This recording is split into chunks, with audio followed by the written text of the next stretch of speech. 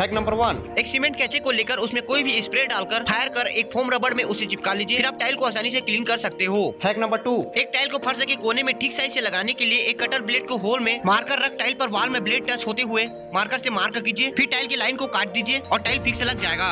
Hack number three एक rod में कुश्ती को अटैच कर लीजिए। फिर एक वाटर डिब्बे के बीच से इम्पोर्ट साइज़ से काट लीजिए और लेफ़्ट और राइट साइड से दो दो होल कर एक खाली रॉड और दूसरे टी वाले रॉड को अटैच कर लीजिए। फिर नीचे रॉड में ड्रिल को अटैच कर डिब्बे के नीचे में गीला सीमेंट डालकर चलाएँ और वॉल कवर हो जाएगा।